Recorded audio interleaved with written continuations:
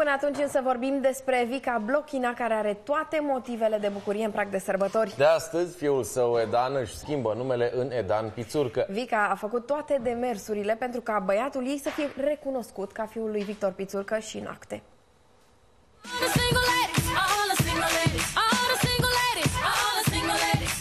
Blochina a reușit în primăvară să câștige procesul de paternitate intentat lui Victor Pițurcă. Selecționerul trebuie să-i ofere retroactiv fiului său 100.000 de euro și să-i plătească lunar o pensie alimentară de 9.000 de euro. Însă Vica nu s-a oprit aici. A vrut ca fiul ei să fie recunoscut și cu numele, ca fiind fiul lui Pițurcă. Ea a făcut tot ce a stat în putință pentru ca Edan, în vârstă de 5 ani, să poarte numele tatălui său.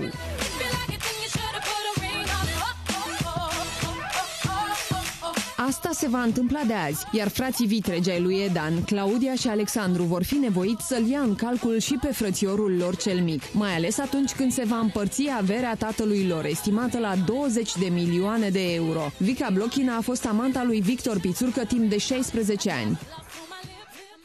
Sharon